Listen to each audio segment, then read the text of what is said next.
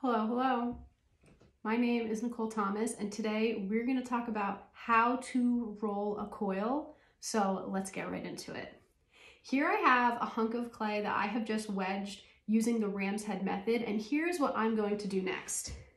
This piece of clay is a little bit too big so I'm going to go ahead and just rip it in half just like that and now I have a smaller piece of clay.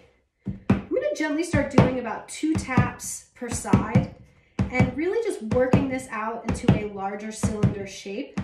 I want my taps to be gentle because creating edges isn't really what I wanna do here. What I wanna do is work my clay into a really smooth, even, consistent cylinder. So once I get a few of those taps, even though it creates some sides, I'm gonna come in and just give a gentle rock on one side.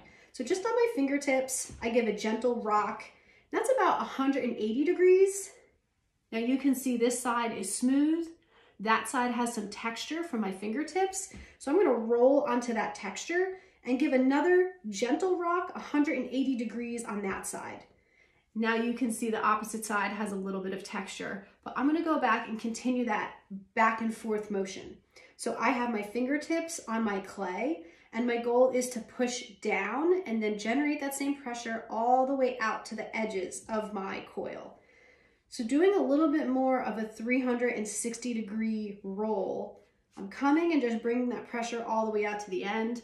My coil got a little ovally and it picked up some texture. So I'm gonna flip it on one of those taller sides and just rock it out on that side.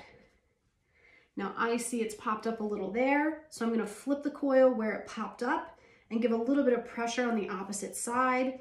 And after a few really careful rolls, you can start to see your coil become a little bit more circular and we've spread out the material just like that.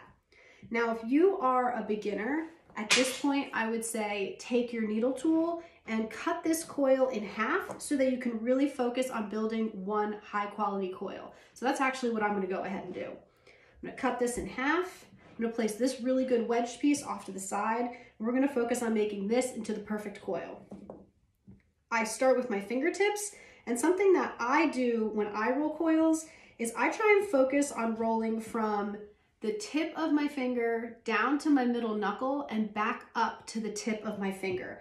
I find that when I see folks rolling like that, using the whole hand, that's how they pick up the most texture on their coil.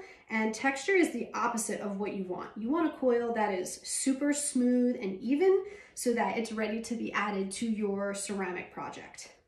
So I'm gonna give this one more roll. Again, I'm meeting in the middle with my fingertips touching. I'm using my fingertips to just generate a smooth, even pressure, and I'm bringing that pressure all the way out to the edges of my coil. So this is what my coil looks like just like that. It's not a good idea to pick up the coil or hold it or move it around because you don't want to weaken it. You want to leave it strong because you just put your energy into rolling it out nice and even. So you'll leave it on the table and keep it that way. This is a pottery tip by Classic Clayworks. If you have any more questions on how to roll coils, feel free to leave me a comment in the comment section below and I will make sure to comment back with an answer. Thanks for being here.